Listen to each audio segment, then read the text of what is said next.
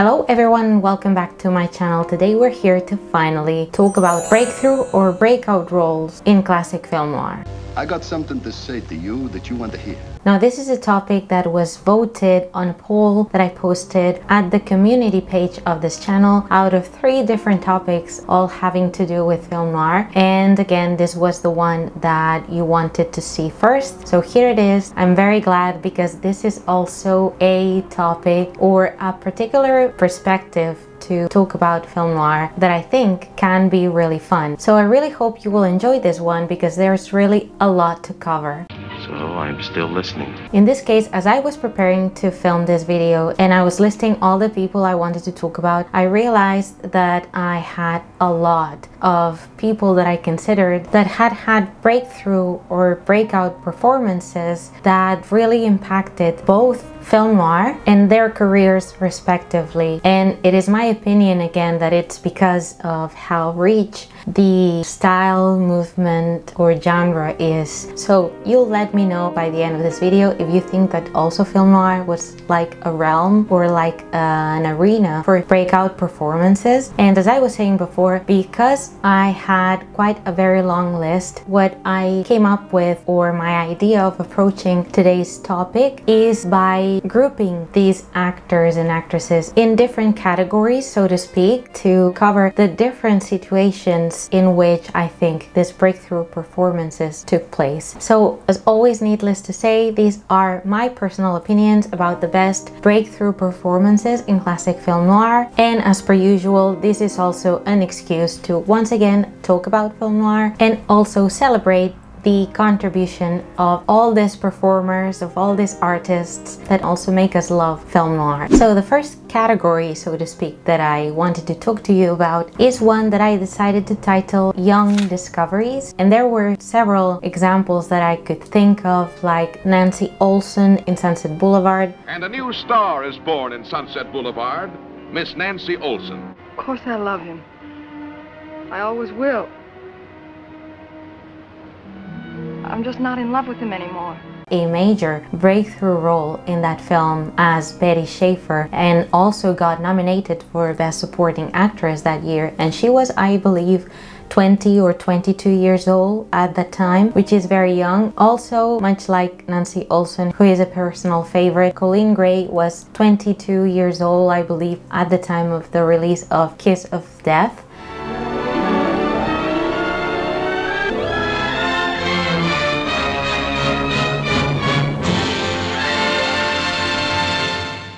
And she was a really fresh face, so to speak, when she was cast for that movie, much like again Nancy Olson. Again, two, I think, worthy examples, especially in the case of Coleen Gray. She went on to contribute a lot to film noir by appearing in films like Nightmare Alley, Kansas City Confidential, or The Killing. So Coleen Gray is also an actress that I'm particularly fond of. Also, it would be worth mentioning Sidney Poitier, who was only 22 when he was cast to appear in Joseph Mankiewicz No Way Out alongside Richard Widmark. Besides working on the stage and having appeared in short films for the army, for Sidney Poitier this was his first credited role in a commercial feature, in this case for 20th Century Fox and again with Richard Widmark who in the film plays a racist character who antagonizes with the doctor that Sidney Poitier plays. In real life though, they became close friends and they would go on to appear in two more movies together. So although Sidney's career took a formidable leap several years later, this role led at a very young age to being noticed and offered more substantial roles. But to me, the best breakthrough performance in this young discoveries category is, without a doubt, Ann Blyth in Mildred Pierce. You think because you've made a little money you can get yourself a new hairdo and some expensive clothes and turn yourself into a lady.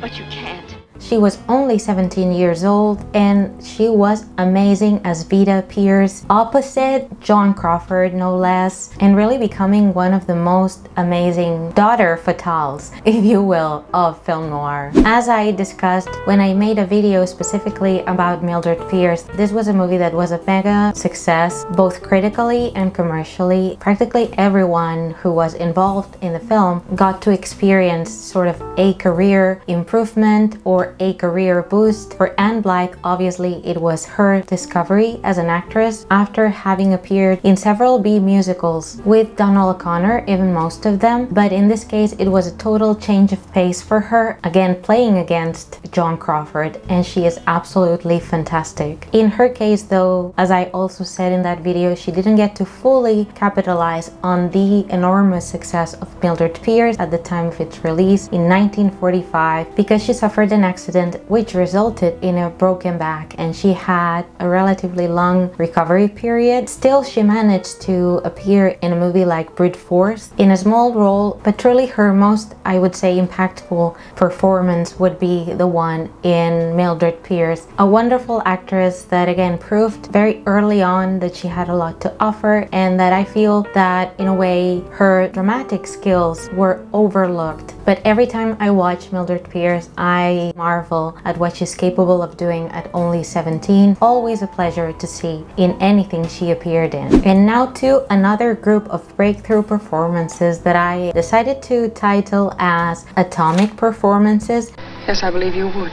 And that's because I have grouped several actresses who got to become legendary femme fatales for the screen and whose performances really were atomic in my opinion. In this group, I thought of actresses like Ava Gardner in The Killers. You touch me and you won't live till morning. A movie that launched also the career of Burt Lancaster, something I'll cover later on. And in her case too, she was very young. She was, I think, around 24 years old after having appeared in a series of minor films for MGM and a B product like Whistle Stop with George Raft, she got a major breakthrough with again her casting in The Killers. I can also think obviously of Lana Turner in The Postman Always Rings Twice. Frank, Frank, listen to me. I'm not what you think I am. I've made a big mistake in my life and I've got to be this way just once to fix it. Even though she had appeared for several years in films, but I believe that her part as Cora in The Postman Always Rings Twice really elevated her career. The same thing I believe could be applicable to Rita Hayworth in Gilda, again having her former breakthrough performance in Howard Hawks' Only Angels Have Wings in 1939. But I feel that the case of Rita Hayworth goes beyond just a breakthrough role, but really two performances that for me are the best breakthrough performances in this particular category of atomic or epic femme fatales, in my opinion, have to go to Jane Greer in Out of the Past and Marilyn Monroe in Niagara. In the case of Jane Greer, again, really, really young when she made this picture too. She was 22 years old. I could have perfectly talked about her in the young discovery category I just talked about, but since she looks so poised and so mature in this film, it is really hard to believe that Jane Greer was only 22 when she appeared in Out of the Past. So I think it's fair to discuss her as giving an epic performance. And although the film, again, was not a box office success at the time of its release, I think that it's fair to say that in her case, it was a breakthrough performance. She went on to appear with Mitchum again in The Big Steal, and she will forever remain one of the best femme fatales of film noir. And lastly, in this category, as I was saying, to me, one of the most amazing breakthrough performances, in this case, in terms of changing her career and her status overnight, was the performance of Marilyn Monroe in Niagara, a movie that was released in 1953, shot in CinemaScope and also in Technicolor, was a tremendous, a resounding success for 20th Century Fox. Her performance also in this film was fantastic in my opinion. She had already shown her skills in film noir in the movie that I also discussed last November called Don't Bother to Knock and had appeared in several major movies since the beginning of the 1950s such as The Asphalt Jungle, another film noir, Haven't you bothered me enough, you big banana head? or All About Eve. So she again was gradually gaining more and more substantial roles and she really got to again blossom into superstardom with the film Niagara. And that is why I think that her performance in Niagara is one of the best breakthrough performances in film noir. 1953 was really one of her most successful years with the subsequent releases of Gentlemen Prefer Blondes and How to Marry a Millionaire, after 1953, she was already the movie star that she has continued to be up to our days. And now we move on to another group and another division in this listing of wonderful breakthrough performances in film noir with a category that I've titled First Time's a Charm. First time's a charm, or also it's never too late to be successful in film noir. Astounding. Incredible because I will be talking here about actors in particular for whom their first role in film noir proved to be a game changer in their film career, which is quite amazing in my opinion. In this category or in this division, I've grouped people that I thought of like Sydney Greenstreet in The Maltese Falcon. This was his first film, believe it or not, at 62 years old by the time it was released in 1941. Hence also the subtitle, It's Never Too Late, in this case to become a film film actor because he had been prior to that a stage actor and he had appeared in many plays both in England and in the US by the time he got cast by Warner Brothers for The Maltese Falcon, which led to a very successful career for almost a decade, appearing in numerous very important films such as Casablanca, but also appearing quite frequently in film noir in films like The Mask of Dimitrios, Three Strangers, or Flamingo Road. He got to appear all in all all in 24 movies, 9 of them alongside Peter Lorre. And again, Sydney Greenstreet got to leave a pretty indelible mark in films, so much so that as I have read,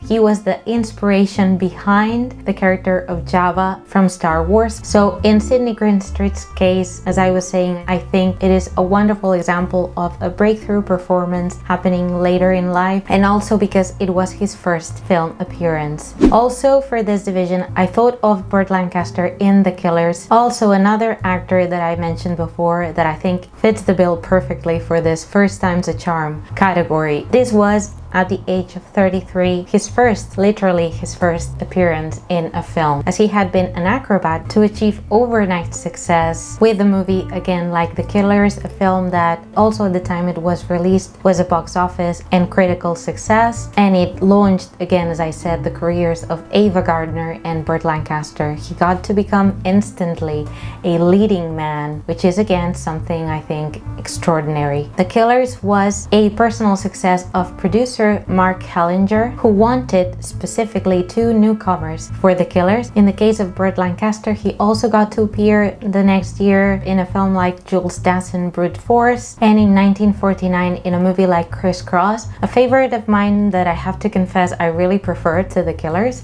But in any case, he also appeared and produced a film like Sweet Smell of Success. So for me, his noir stage or his noir movies are my favorite. But the winner the award for First Time's a Charm in this celebration of breakthrough roles that this video is goes to. And now, ladies and gentlemen, the moment we have all been waiting for.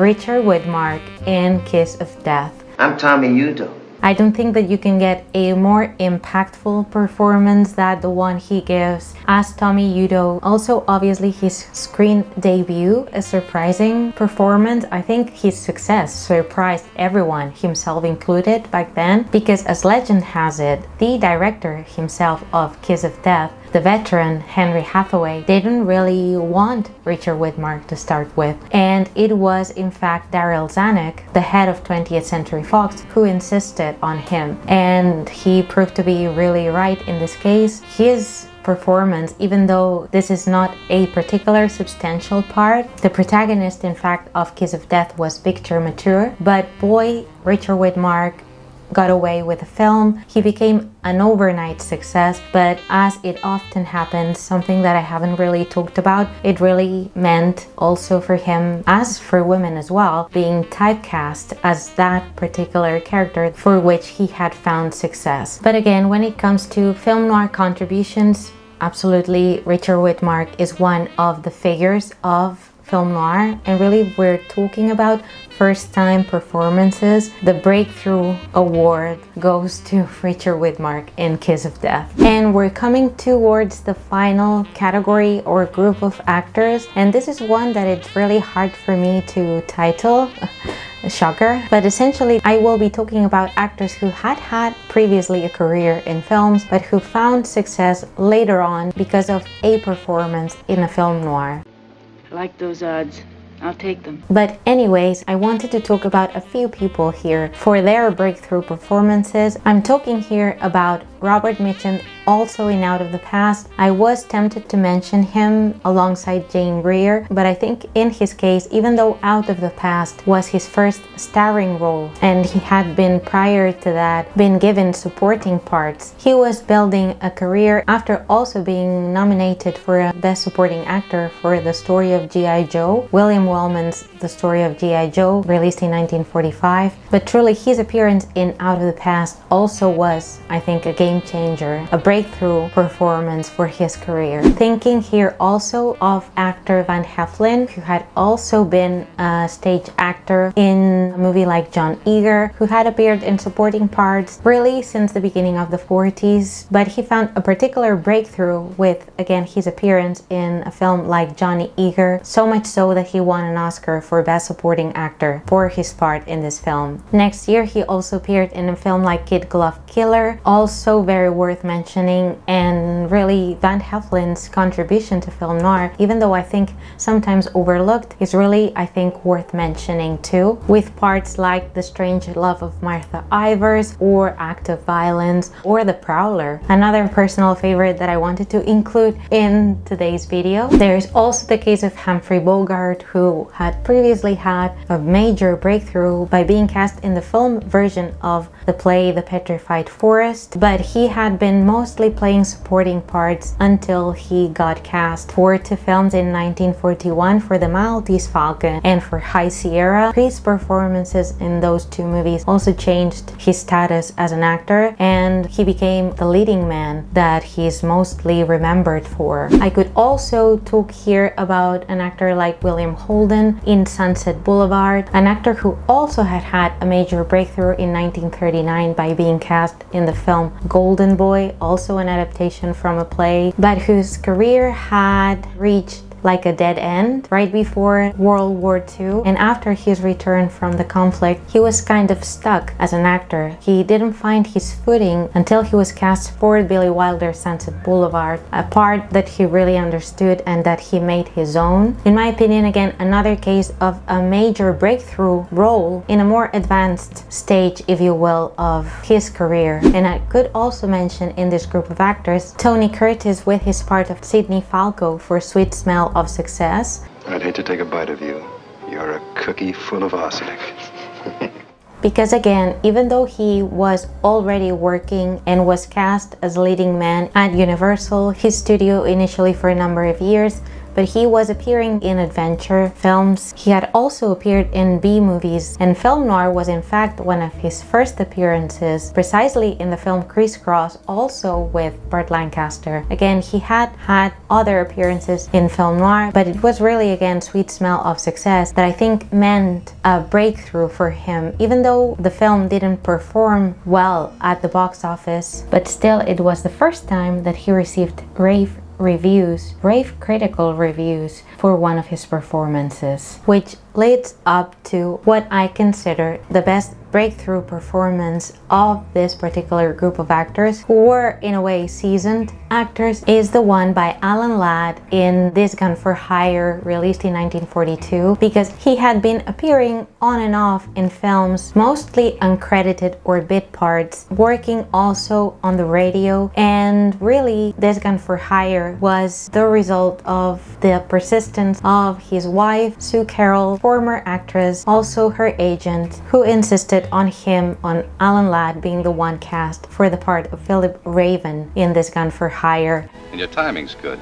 This Gun for Hire was an absolute success. It catapulted him also to superstardom alongside Veronica Lake who had also caught the eye of the public in the film I Wanted Wings and them together they really became atomic and epic. As many of you would know they went on to make foreign films together and also much like the case of Richard Widmark in Kiss of Death, Alan Ladd was in fact forebuilt behind Robert Preston, behind Veronica Lake and Laird Cregar so he got I think everyone by surprise and he became an overnight success, an overnight leading man at a different stage of his life, of his career. So that is why also in my opinion, he gave one of his most amazing performances in This Gun for Hire. This is a film that if you haven't seen, I highly recommend you to do so. Alright, so that was all for today's video. I hope that you had fun with the topic of today's video. There are still some people that I thought I would mention, but I didn't in the end, such as Clifton Webb in Laura, or Gloria Grahame in Crossfire, or Robert Ryan in Crossfire, who also got a major breakthrough with his performance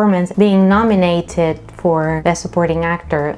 So I should have really have included him. But anyway, let's leave it as it is. I hope that you enjoyed it. I could again go on and on and just remake the list all over again. So I'll leave it at that on my end. Any objections? Yeah. If you think that I should have included someone else or there are other parts or breakthrough roles worth mentioning in film noir, in classic film noir that is, leave a comment down below. And in any case, thank you again so much for voting. I hope that you enjoyed. As always, thank you so much for watching. Thank you so much for sharing the love for classic movies. And as always too, take care, stay safe, and see you all soon in my next video. Bye! With a category that I've titled, I don't remember the title, one second, Kiss Director, Kiss Directors.